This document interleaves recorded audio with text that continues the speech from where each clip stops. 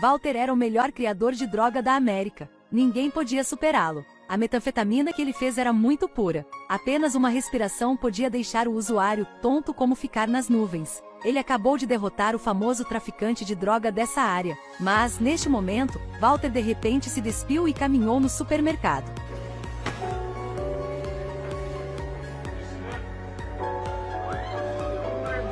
Todo mundo pensava que era porque Walter tinha câncer. O sentimento não foi normal. Só Walter sabia que tudo era desculpa para esconder a verdade.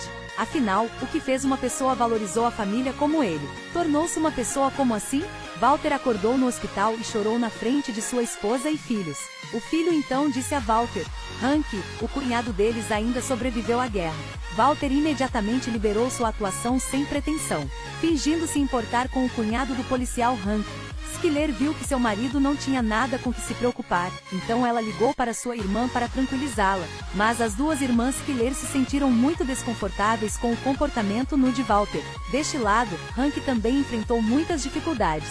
Embora ele tivesse derrotado o traficante, ele cometeu o erro de usar uma arma sem permissão, por isso foi questionado por seus superiores. Hank só teve que explicar por que queria investigar o desaparecimento de seu cunhado. Era por isso que ele acidentalmente os matou. Depois que a suspeita fosse esclarecida, o departamento de polícia realizou uma festa de comemoração para Hank.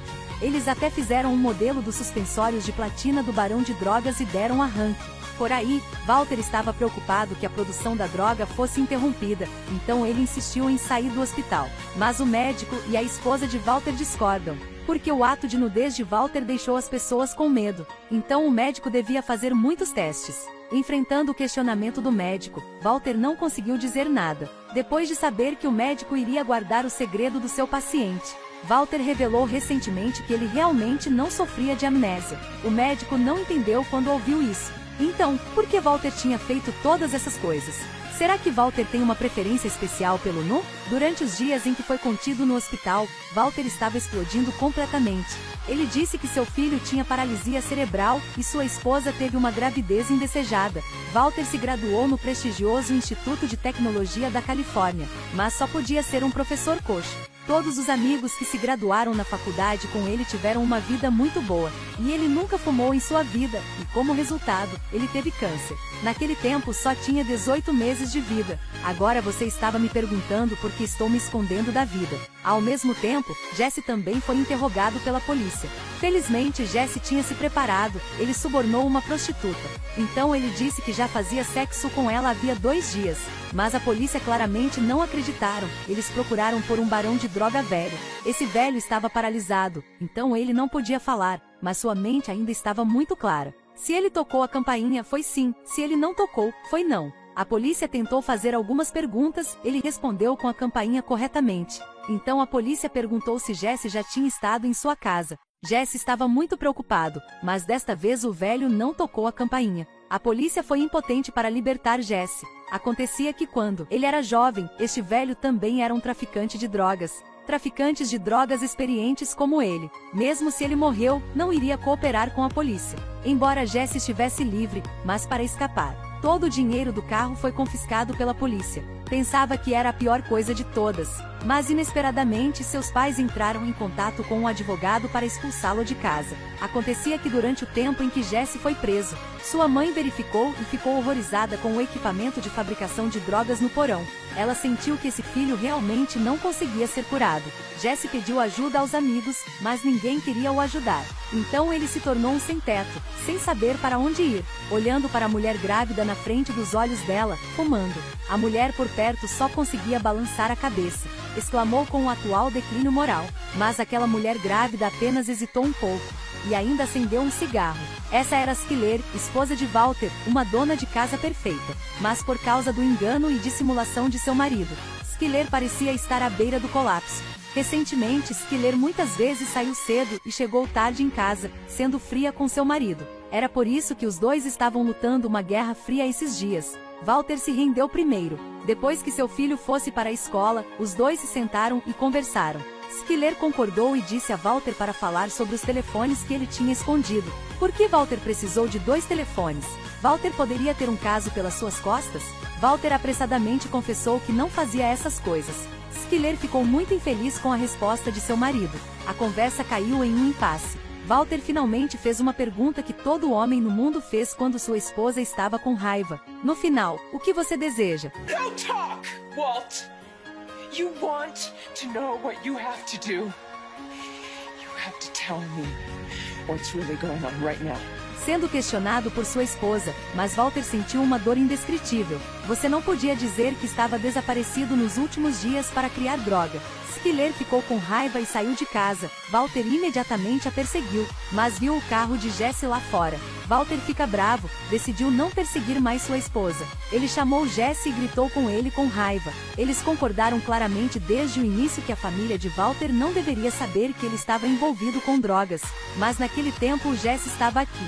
Na verdade, nestes dois dias, Jesse não vivia facilmente. Acabou de ser expulso de casa pelos seus pais, e não tinha amigos para lhe ajudar. Depois de fazer uma ligação, a motocicleta foi roubada. Ele realmente não tinha outra escolha. Antes, para evitar a polícia, Jesse mandou um carro usado para fazer drogas na casa de um conhecido, mas não esperava que esse cara fosse um cara faminto por dinheiro. Assim que entrasse em contato, ele imediatamente exigiu dinheiro de Jesse e ameaçou vender o carro. Jesse estava com raiva, então ele imediatamente dirigiu o carro para encontrar Walter. Ambos ficaram com raiva quando se encontraram. Claro que nada foi bom. Jesse queria que Walter dasse a ele metade do dinheiro. Mas Walter disse que o fato de a polícia ter levado todo o dinheiro foi devido à própria negligência de Jesse. Sua vida já acabou. Zangado com o descuido de Walter, Jesse o bateu. Jesse era jovem, então é claro que ele venceu Walter. Mas quando viu o rosto velho de Walter da quimioterapia, Jesse finalmente não teve coragem de agir.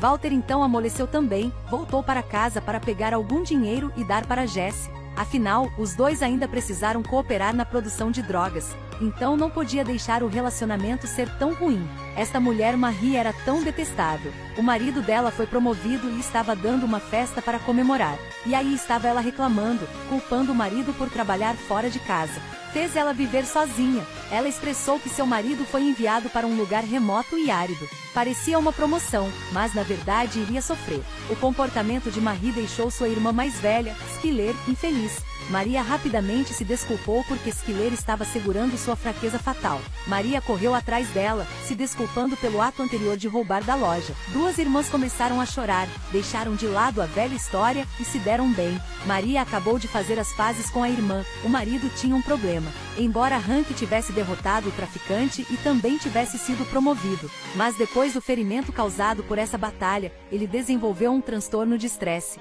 Hank criou cerveja para aliviar o estresse. Felizmente, por causa de destruir uma grande rede de consumo de drogas, o trabalho da polícia também era mais tranquilo. Como Jesse e Walter puderam perder esta oportunidade única na vida, duas pessoas ainda estavam as mesmas de antes, designadas para trabalhar juntas.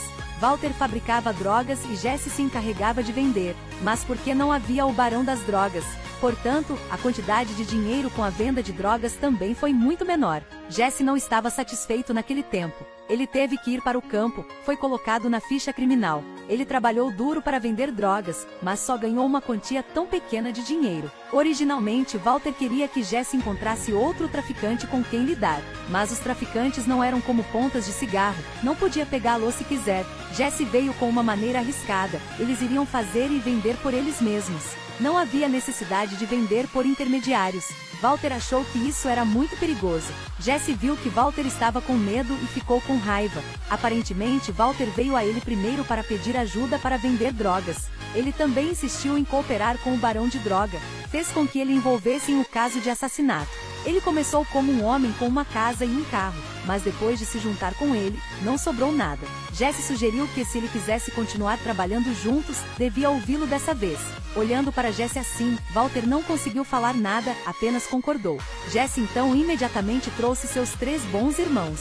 O plano era que Jesse o fornecesse, e os três iriam levá-lo para consumo. A grande drogaria nesta área acabou de ser quebrada. Por enquanto, ninguém se atreveria a mexer na frente da polícia. Eles deviam aproveitar essa oportunidade para entender o mercado com antecedência. Naquela época, eles definitivamente se tornariam pais de viciados em toda a área. Jesse realmente tinha uma mente para os negócios. Graças à liderança de Jesse, seu grupo realmente conquistou todo o mercado de consumo na área. Mas quando Jesse estava ocupado contando dinheiro, algo inesperado aconteceu, porque o preço da metanfetamina era muito caro. Então sempre havia viciados sem dinheiro que queriam roubá-los. Um dia, o amigo de Jesse estava entregando drogas.